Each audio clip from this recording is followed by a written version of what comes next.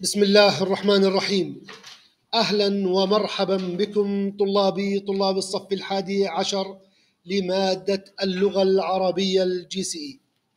ها نحن طلابي نلتقي من جديد في هذا الأسبوع للحديث عن الورقة الأولى من الاختبار وسيكون الحديث حول السؤال الخامس والسؤال السادس والسابع وبعده سيكون لنا نقوم بعمل اختبار بهذه الأسئلة التي تم العمل عليها. طلابي سيكون الحديث بكيفية حل السؤال الخامس. وكنا قد تحدثنا ولكن وها نحن نقترب من نهايات المادة إلى الامتحان النهائي. أود أن أقول لكم بأن هذا الامتحان نقوم بحله بهذا السؤال والذي يتحدث وستجدونه على صفحة المنصة. بتاريخ 23 3 سيتحدث عن مدينة ناطحات السحاب ألا وهي شباب. وهذه المدينة هي بلدة أثرية في محافظة حضرموت شرق مدينة اليمن. تتميز بالمنازل تتميز بأن فيها وسطها الإمكانية المتاحة.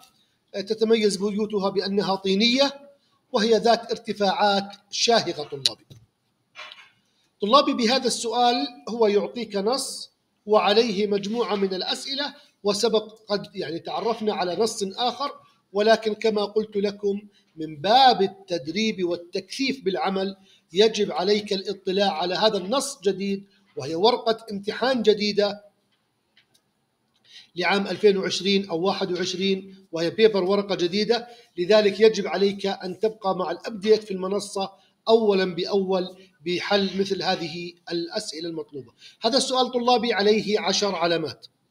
وهذه العشر علامات يجب عليك أن تركز جيدا على ألا تضيع أي علامة بحيث تقرأ النص قراءة جيدة تفهم معناه وتنتقل لحل التمارين من بعده. سؤال رقم ستة دائما يكون على نمط السؤال الخامس.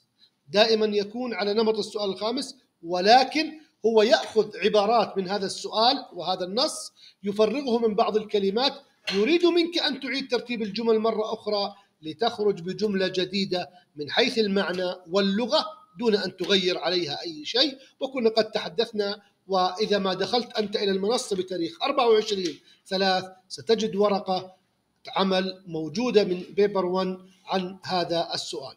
أيضا طلابي سؤال ستة هو سؤال يعني وضع حركات على الجمل وهذا كما قلت لكم يتحدث عادة عن في له عدة موضوعات فكانت موضوع الورقة هذه عن الموسيقى وأهمية الموسيقى في حياة الإنسان. وضع لك نصا. هذا النص طلابي ضلل على بعض الكلمات الموجودة. أنت ستقوم بوضع الحركات على كل كلمة من هذه الكلمات العشر حتى تصل إلى علامة خمسة من خمس علامات. وكنا قد تحدثنا بهذا السؤال. ولكن كما أكدت لك وأؤكد عليك أننا نقترب من النهاية فلا بد من الضغط على مثل هذه الأسئلة التي تجمع بها أنت علامات التوتل النهائي من علامتك النهائية. يجب عليك أن تركز على قبل هذه الكلمات ما لديها من حروف حروف جر ظروف وغير ذلك.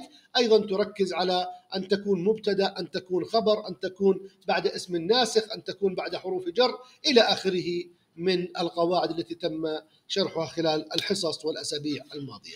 هذا طلابي مجمل الحديث دمتم برعاية الله على أمل اللقاء بكم بحول الله في الأسابيع القادمة. شكرا وأنتم ونحن برعاية الله جميعا.